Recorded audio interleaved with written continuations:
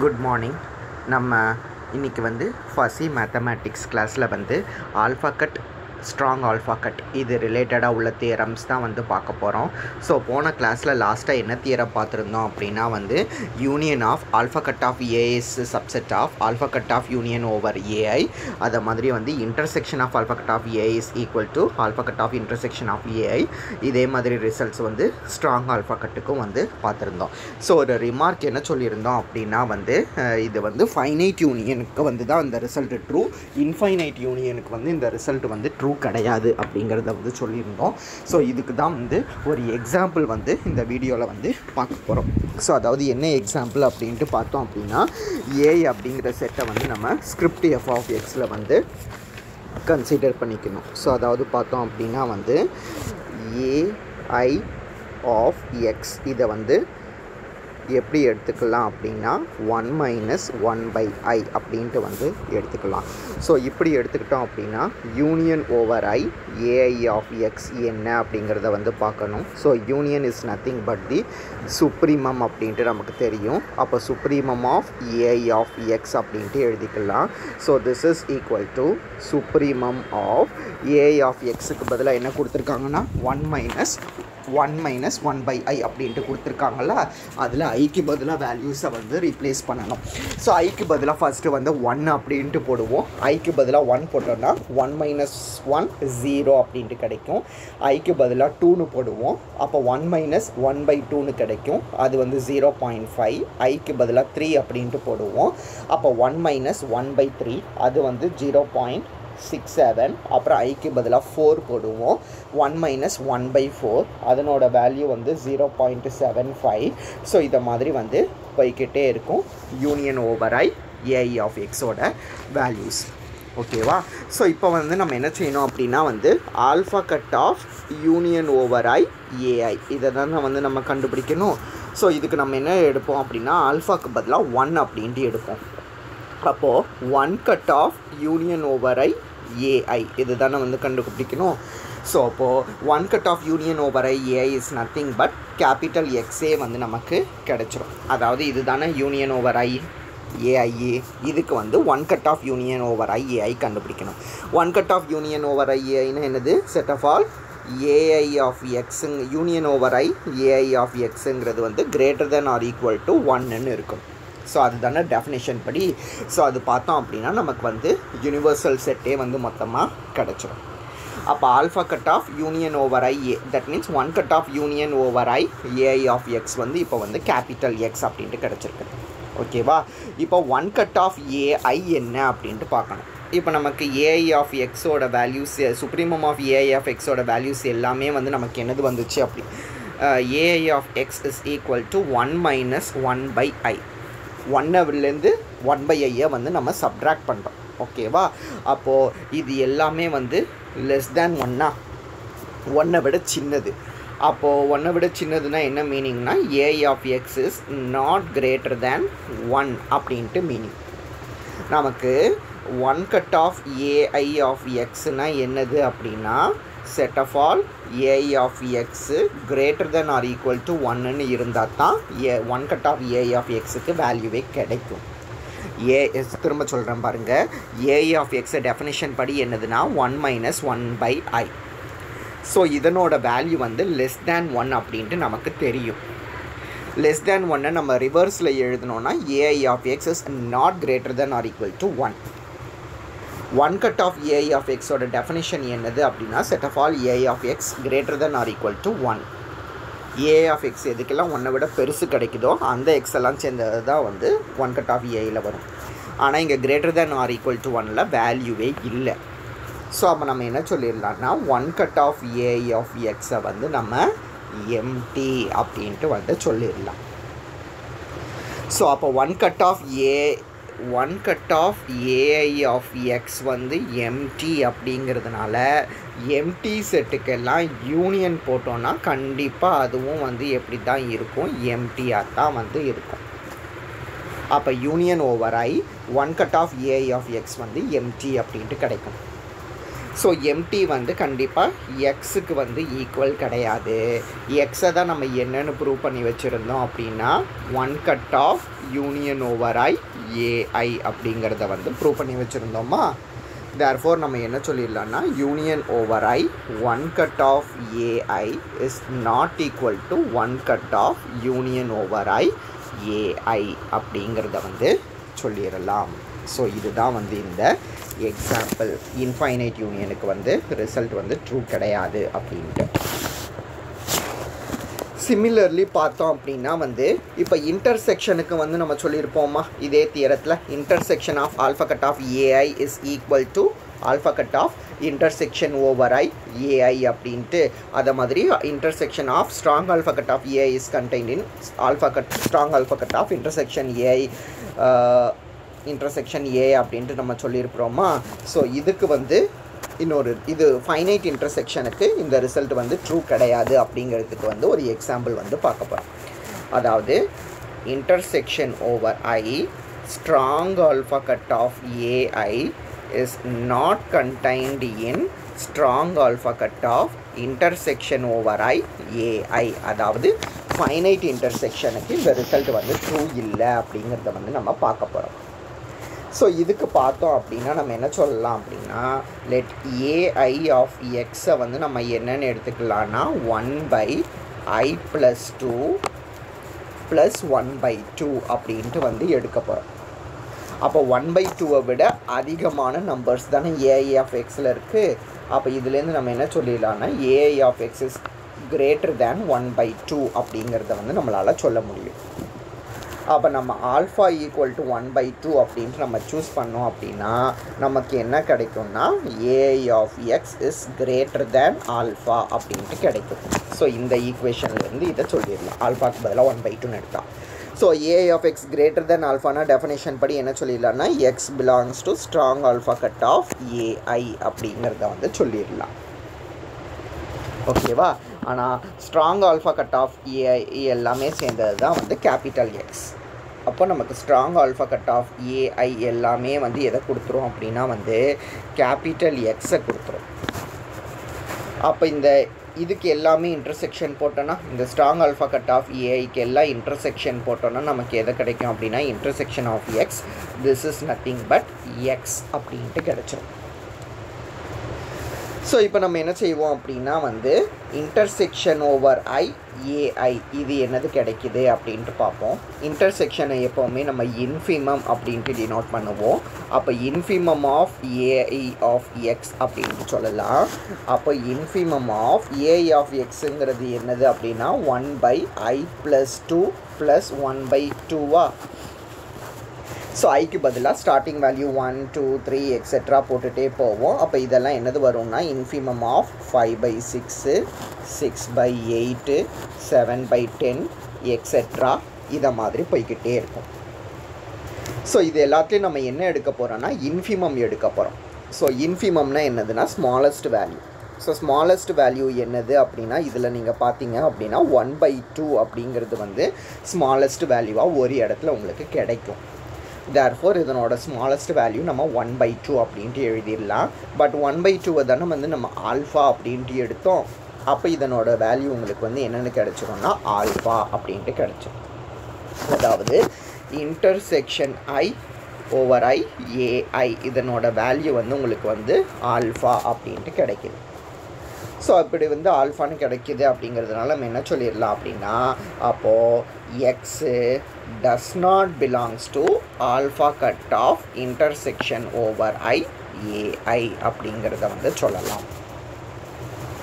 That means என்னது அப்படின்னா alpha strong alpha cut of intersection over I A I இதனோட value வந்து உங்களுக்கு வந்து எம்டி அப்படின்னு கிடைக்கும். ஏன்னா எக்ஸுங்கிற ஆர்பிட்ரரி எலமெண்ட்டே இதில் இல்லை அப்படிங்கிறதுனால strong alpha cut of intersection over I A I வந்து எம்டி அப்படின்ட்டு கிடைக்கும்.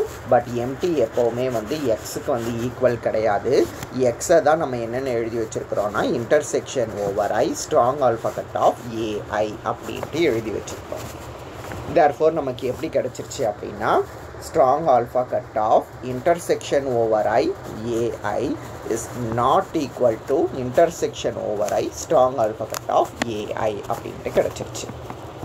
அப்போது ஃபைனைட் இன்டர்செக்ஷனுக்கு இந்த ப்ராப்பர்ட்டி வந்து ட்ரூ கிடையாது அப்படிங்கிறத வந்து சொல்லிடலாம். ஸோ இதுதான் வந்து இந்த ரிமார்க்கு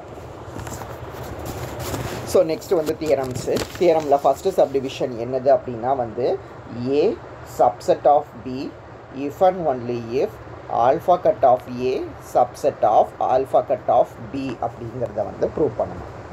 ஓகேவா நம்ம என்ன அசியூம் பண்ணிக்கலாம் அப்படின்னா வந்து ஏ சப்செட் ஆஃப் பி அப்படின்ட்டு அசியூம் பண்ணிக்கலாம். அப்போ நம்ம என்ன ப்ரூவ் பண்ணணும்னா alpha cut of A subset of alpha cut of B அப்படின்ட்டு நம்ம ப்ரூவ் பண்ணணும். நமக்கு மாற்றி எடுப்போம். Suppose alpha cut of A is not subset of alpha cut of B அப்படின்ட்டு எடுப்போம். அப்படின்னா then there exist some alpha naught belongs to closed interval zero comma one such that நம்மளால் எப்படி எழுத முடியும் அப்படின்னா alpha naught cut of A is contains alpha naught cut of B அப்படின்ட்டு எழுத முடியும். ஏன்னா இது வந்து நாட் சப்செட் அப்படிங்கிறதுனால இன்இக்வாலிட்டி வந்து இதை மாதிரி மாறிடும்.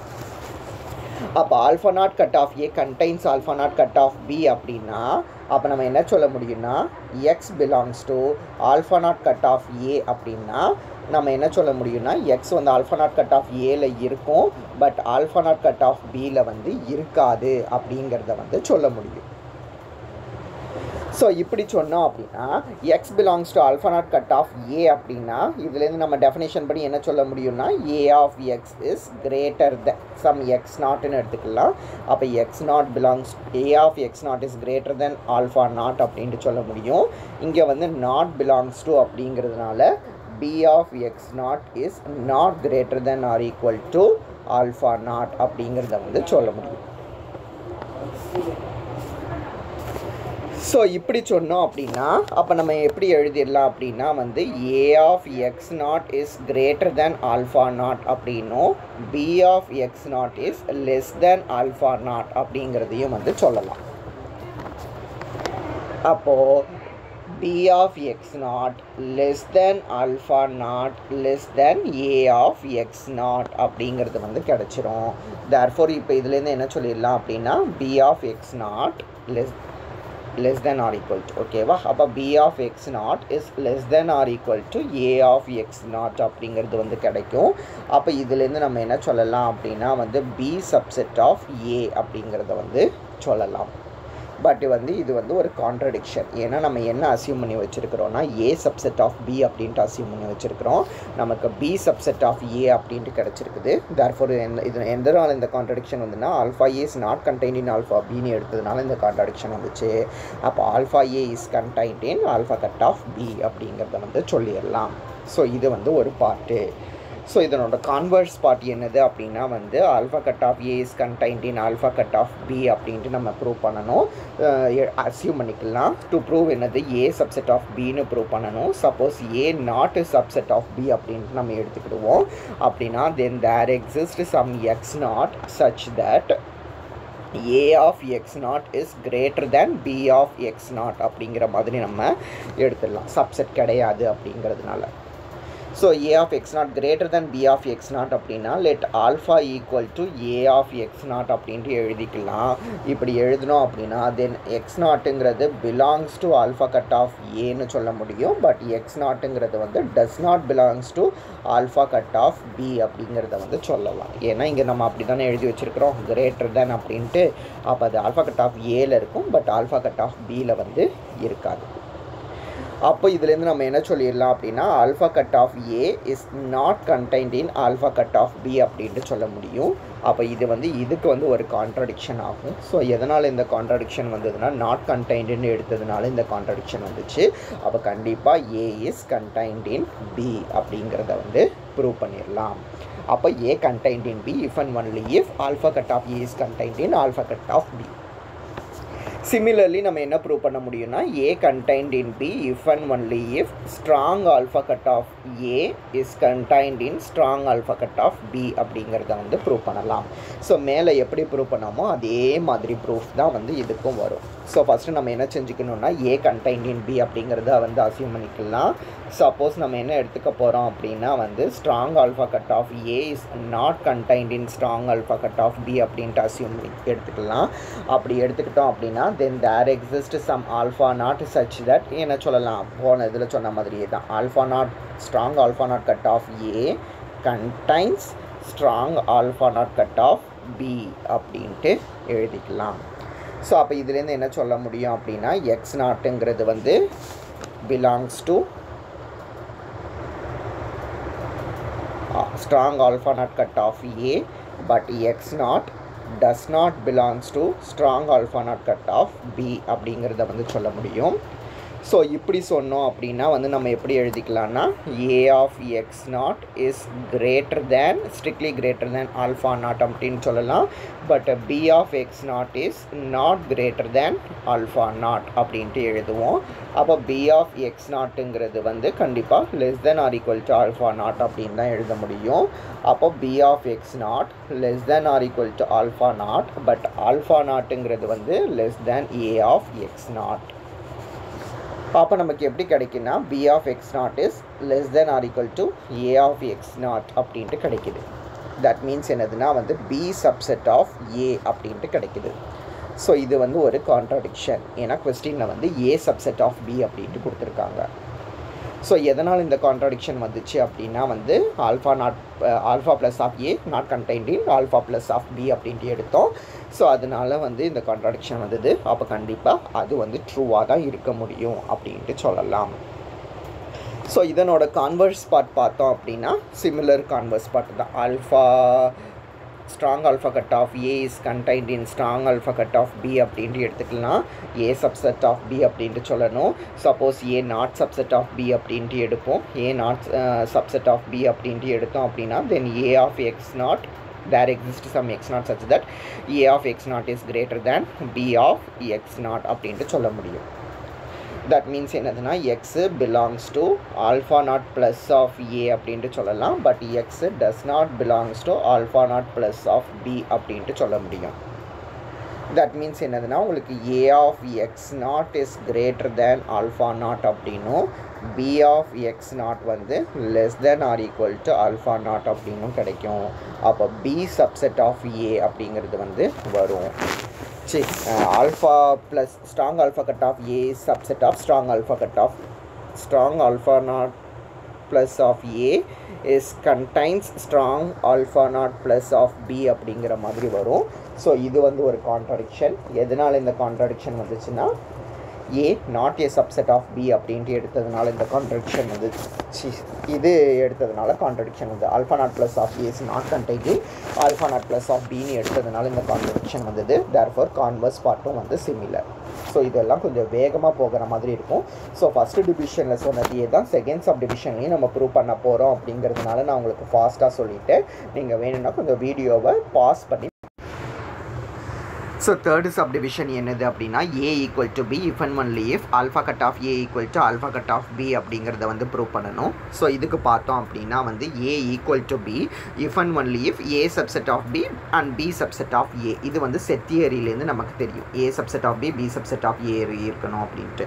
அப்போ இதுலேருந்து நம்ம என்ன சொல்லலாம் அப்படின்னா வந்து alpha cut of A subset of alpha cut of B அப்படிங்கிறத வந்து சொல்லலாம். ஏ சப்செட் ஆஃப் பியாக இருக்கணும்னா alpha cut of A subset of alpha cut of B இருக்கணுங்கிறது தான் வந்து நம்ம ஃபஸ்ட்டு சப்டிவிஷன் டிவிஷனில் ப்ரூவ் பண்ணிட்டோம். ஸோ அதை யூஸ் பண்ணிக்க போகிறோம் சிமிலர்லி பி சப்செட் ஆஃப் ஏனா alpha cut of B subset of alpha cut of A அப்படிங்கிறத வந்து எழுதிக்கலாம். அப்போ இதை கம்பைன் பண்ணும்போது நமக்கு என்ன கிடச்சிரும் அப்படின்னா alpha cut of A is equal to alpha cut of B அப்படிங்கிறது வந்து கிடச்சிரும். அப்புறம் ஃபோர்த்து சப்டிவிஷன் என்னது அப்படின்னா A sub equal to B if and only if strong alpha cut of A equal to strong alpha cut of B அப்படிங்கிறது prove பண்ணணும். So third subdivision prove பண்ண மாதிரியே தான் வந்து உங்களுக்கு ஃபோர்த்து சப்டிவிஷன் ஸோ அதுவும் வந்து உங்களுக்கு ப்ரூவ் ஆயிரும். ஸோ அப்போ இந்த தியரம்ஸ் எல்லாம் வந்து நம்ம இன்றைக்கி கிளாஸில் வந்து பார்த்துருக்கோம். ஸோ ஃபஸ்ட்டு என்னது அப்படின்னா வந்து இன்ஃபைனைட் யூனியனுக்கு வந்து இந்த ரிசல்ட் ட்ரூ கிடையாது அப்படிங்கிறதுக்கு வந்து ஒரு எக்ஸாம்பிள் பார்த்துருப்போம். நெக்ஸ்ட் ஒரு theorem A subset of B if and only if alpha cut of A subset of alpha cut cut of பின்னும் A subset of B if and only if strong alpha cut of A subset of strong alpha cut of B அப்படின்னு பார்த்துருப்போம். So இது ரெண்டுமே வந்து university question so அதுக்கப்புறம் வந்து A equal to B if and only if alpha cut of A equal to alpha cut of B இதே result வந்து strong alpha கட்டுக்கும் ட்ரூ அப்படிங்கிறதுக்கு வந்து ஒரு தியரம் வந்து பார்த்துருப்போம். ஓகேவா ஸோ இது வரைக்கும் வந்து இன்றைக்கி கிளாஸில் வந்து பாருங்கள்